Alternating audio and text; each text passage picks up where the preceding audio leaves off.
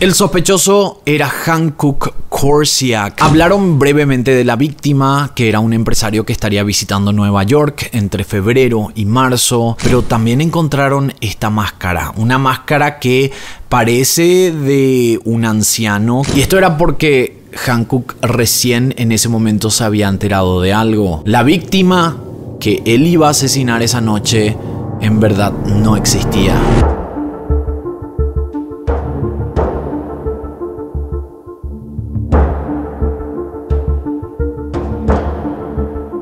El caso que les traigo ahora parece un caso de película. En la noche del 8 de marzo de este año, el FBI se encontraba en Battery Park City, al sur de Manhattan, porque habían recibido información de un intento de asesinato en ese lugar. Al parecer, un hombre de mucho dinero que era empresario era el blanco de este crimen. Ellos para ese momento ya sabían la identidad del asesino a sueldo y también tenían conocimiento del vehículo que él manejaba, además de la identidad de la víctima.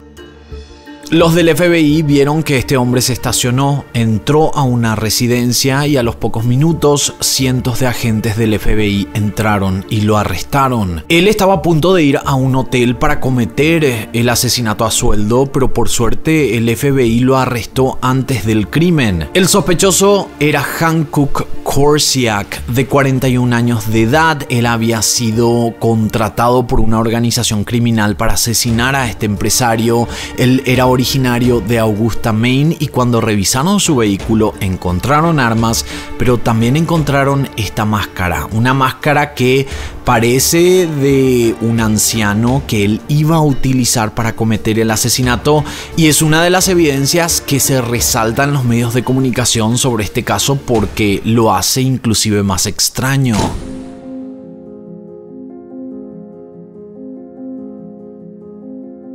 Según la investigación, Hancock estaba viviendo en Maine al momento del intento de asesinato y en agosto de 2022 las autoridades se enteraron que este hombre había mencionado que tenía deseos de asesinar a alguien por dinero a través de un llamado anónimo, o sea, esta persona escuchó que él había mencionado esto, entonces llamó al 911 y fue así que empezaron a prestarle atención a todo lo que él hacía, todos sus movimientos. En los primeros meses desde este llamado al 911, que fue en agosto, la policía lo empezó a seguir, empezaron a interceptar sus llamadas, pero no había indicios de que este comentario fuera real. Parecía como que este llamado al 911 o era una broma o lo querían culpar de algo que él en verdad no había mencionado, pero por las dudas mantuvieron este rastreo, esto de interceptar sus llamadas por si acaso aparecía algo, hasta que llegó diciembre y ahí por fin tuvieron la primera señal de algo parecido a un contrato de asesinato por sueldo. Un oficial que trabajaba en una prisión escuchó una conversación entre Hancock y uno de los prisioneros. En esta conversación que no se hizo pública, los oficiales mencionaron algo de iniciar un contacto para realizar un asesinato y fue así que días después, en diciembre de 2022, en ese mismo mes, Hancock recibió un llamado de alguien que se identificó como un miembro de una organización criminal transnacional encargada de lavado de dinero, tráfico de armas y sustancias ilegales. Este hombre en este llamado telefónico que Hancock recibió le dijo que se comunicara con él a través de Telegram porque era una manera segura de empezar una comunicación, pero no le dio detalles de lo que esta organización quería que Hancock realizara. Hay que tomar en cuenta que Telegram es una opción que utilizan muchos criminales porque en Telegram está esta opción de poder eliminar o autoeliminarse ciertos textos y audios cuando la otra persona recibió y leyó o escuchó. Y además tiene una privacidad avanzada y también tiene la capacidad de encriptado, entonces hace que sea mucho más seguro comunicarse a través de Telegram que con otra aplicación como WhatsApp, por ejemplo. Y hay que tomar en cuenta que son personas de una organización criminal que saben el riesgo que hay de hacer un plan por teléfono o por llamada, entonces obviamente Telegram era la mejor opción para ellos. Fue así que en ese mismo mes, en diciembre de 2022, Hancock empezó a tener contacto con este miembro de la organización vía Telegram.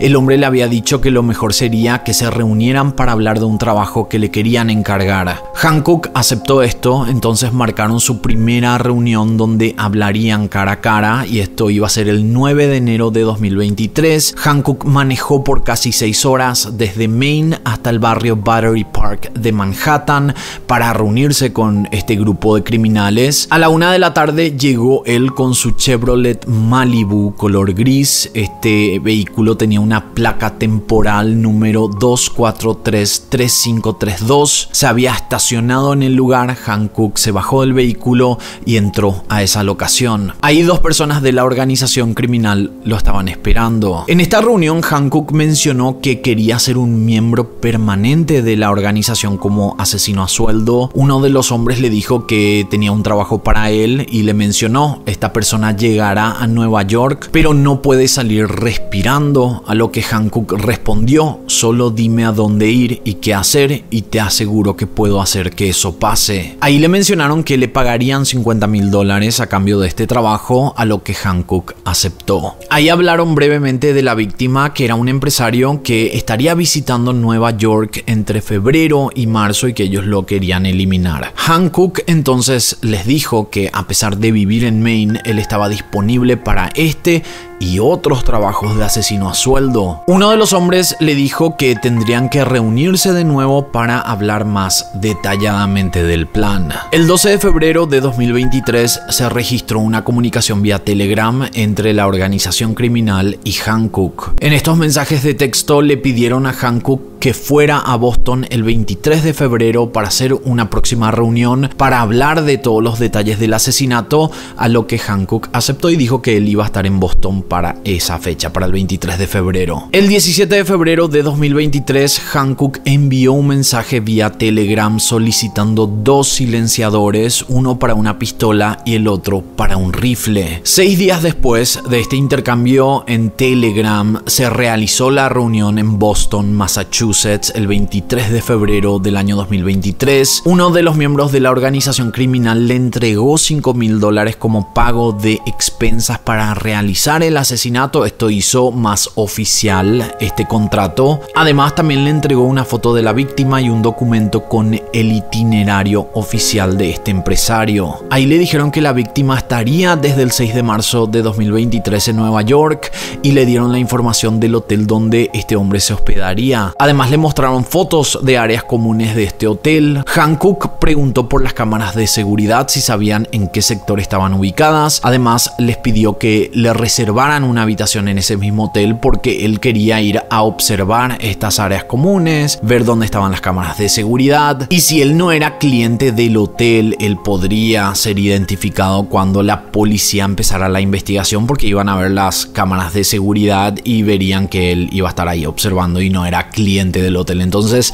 él quería hospedarse en una habitación, fingir que era un huésped y empezar a hacer su investigación dentro del hotel. Uno de los miembros de la organización le dijo que tenían que reunirse de nuevo el 7 de marzo en un hotel de Terrytown en Nueva York para ver más detalles. Además también le dijeron que en esa reunión le darían 25 mil dólares de adelanto y que luego del asesinato le entregarían lo restante, o sea, los 25 mil dólares faltantes. Hancock comentó en esta reunión que él estaba teniendo en ese momento que él tenía pensado utilizar un rifle AR-15 o una pistola 9 milímetros, que él tenía esas armas a disposición y que traería ambas para realizar el asesinato. Él dijo que iba a ver cuál iba a utilizar para cometer el asesinato. También pidió que no se olvidaran de su pedido de los dos silenciadores y solicitó una máscara que utilizarían la noche del crimen para evitar el reconocimiento facial. Él mencionó que probablemente realizaría el asesinato desde el vehículo y preguntó si es que ellos no tenían algún auto imposible de rastrear porque su plan era manejar de la escena estacionar el vehículo a unas cuadras y subirse al suyo para escapar sin ser identificado. Esta reunión terminó con los de la organización criminal diciéndole que tendrían todo listo antes del asesinato, pero que deberían reunirse el 7 de marzo para ver los últimos detalles, a lo que Hancock aceptó. Para ese momento, la fecha del asesinato estaba pautada para el 7 de marzo a la noche, pero el 24 de febrero se registró otra comunicación a través de Telegram. Era entre Hankook Korsiak y uno de los miembros de la organización. Ellos hablaron de cambiar la fecha de la reunión y la fecha del asesinato. En vez de ser el 7 de marzo, pasaría a ser el 8 de marzo. El 2 de marzo hubo otra comunicación vía Telegram. Los miembros de la organización le pidieron que vaya a día hasta Nueva York para que le entregaran la máscara, a lo que Hancock accedió. Hancock salió de su residencia en Maine a la mañana y llegó a la locación pautada a eso de las 4 con 23 minutos de la tarde. En esta reunión le entregaron la máscara de látex que había pedido anteriormente, que fue esta máscara que salió en todos los medios de comunicación porque era tan extraño que parecía un anciano y él fue el que solicitó eh, tener esta máscara para realizar el crimen.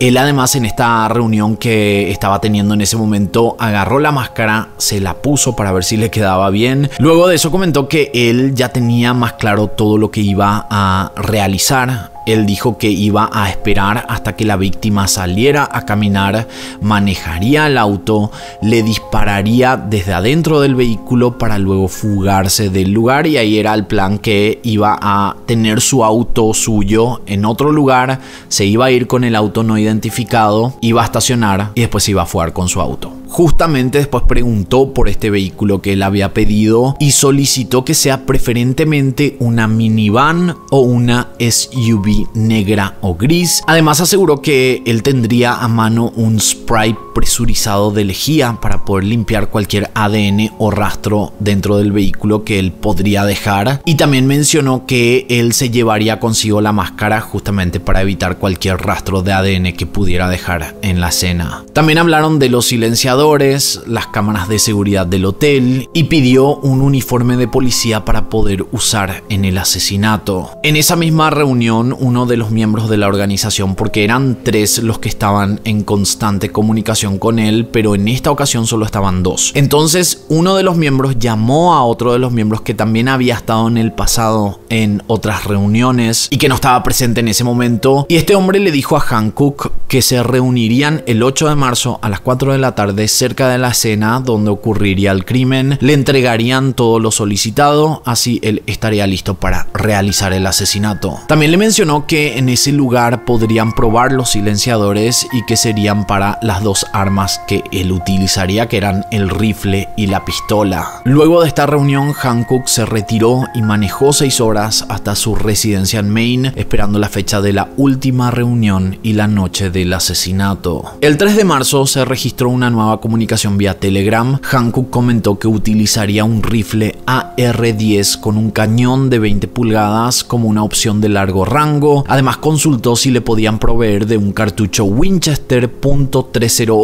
y una granada flashbang M84 para usar como distracción durante la operación. El 8 de marzo, que era la noche del asesinato y la última reunión que ellos iban a tener, bien temprano le mandaron un mensaje a Hancock vía Telegram y le dijeron que se iban a encontrar en esta locación para ver ya los últimos detalles, entregarle las cosas que él había solicitado como los silenciadores, etc. Y le dijeron que le iban a estar esperando en esa dirección, pero él mencionó que no iba a poder llegar a las 4 de la tarde porque estaba pautado para las 4 y dijo que iba a poder llegar a esa locación para las 8 de la noche aproximadamente. Entonces los de la organización le dijeron que no había problema. A las 7 de la noche con 41 minutos, Hancock llegó a la locación, se encontró con uno de los miembros, le dieron 25 mil dólares en efectivo, que era la mitad de la promesa para realizar este crimen, y ahí también le prometieron que una vez que él realizara el asesinato tenía que volver a esa locación y ahí le iban a dar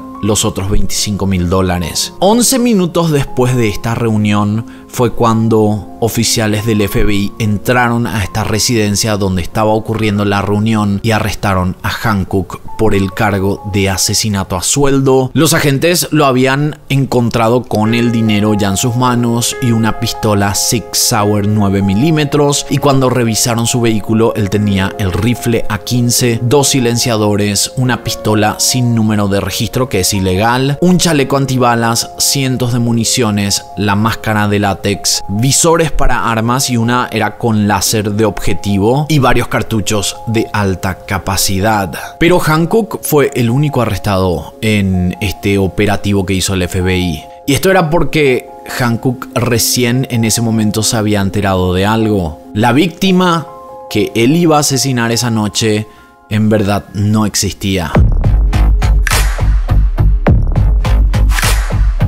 Era una víctima ficticia creada por el FBI y los miembros de esta organización criminal tampoco eran reales, eran agentes encubiertos del FBI.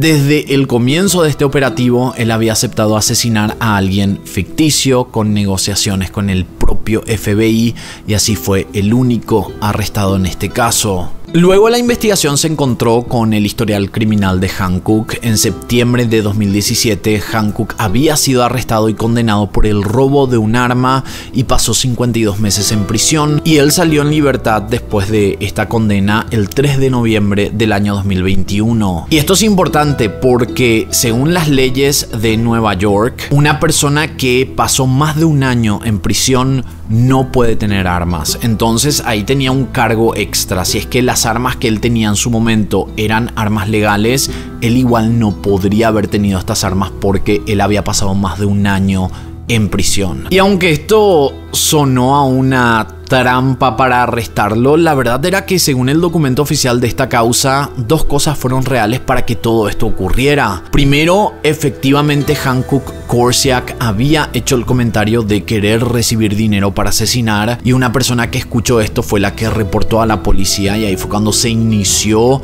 este rastreo y esto de interceptar sus comunicaciones para ver si era real. Lo segundo que de verdad pasó fue la conversación con un amigo suyo en la cárcel, que fue la comunicación interceptada que confirmaba que Hancock era capaz de hacer esto. Obviamente este plan realizado por el FBI era para obtener las evidencias, porque ellos tenían que confirmar que primero él había recibido dinero, una vez que recibís dinero, aunque la persona no existiese, en la víctima, el recibir dinero para cometer este crimen de por sí ya es criminal, de por sí ya es ilegal, no importa que la persona exista o no. El aceptar dinero para cometer este crimen ya es ilegal. Y con este plan el FBI pudo arrestarlo y así se enfrenta a 25 años de prisión. Hasta 10 años por el tema de asesinato a sueldo y hasta 15 años por tenencia de armas ilegales y seguramente se van a, presentar nuevos cargos con el tiempo porque esta noticia es súper nueva. Esto ocurrió hace pocos días,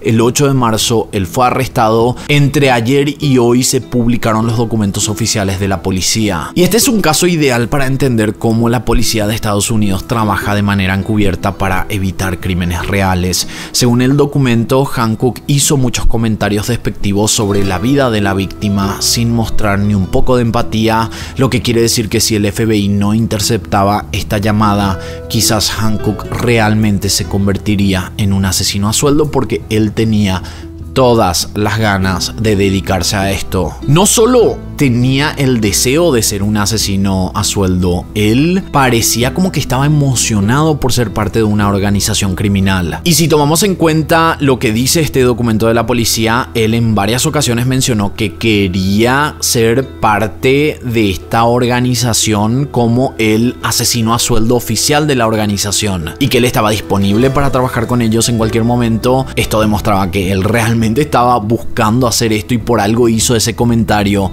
en agosto del año 2022. Yo sé que no es un video muy largo, es un caso muy corto porque esta es toda la información que existe sobre este caso. Esto que acabo de mencionar es exactamente lo que dice en el documento oficial que lanzó la policía, pero de igual manera para mí por lo menos es una historia increíble, es una historia interesante porque te lleva a entender cómo estas operaciones se realizan en la vida real, cómo el FBI logra poder capturar a criminales antes de que ocurriera un crimen real. Y esto me hace acordar a un caso que ocurrió hace unos años, que fue con una diputada de Paraguay, que ella había ido hasta Estados Unidos, se había reunido con alguien de una organización criminal y ella había prometido que ella podía lavar muchísimo dinero. Y cuando creo que fue la tercera vez que volvieron a Estados Unidos ya con el dinero lavado, ahí la arrestaron porque todo era un, una operación encubierto del FBI. Así que son, no sé, a mí por lo menos me parece muy interesante porque nos deja ver cómo el FBI trabaja de manera encubierta y no sé, me parece fascinante. ¿Ustedes qué opinan sobre estas historias? ¿También les parece fascinante o solo a mí? De esta manera, nosotros nos encontraremos en la próxima historia.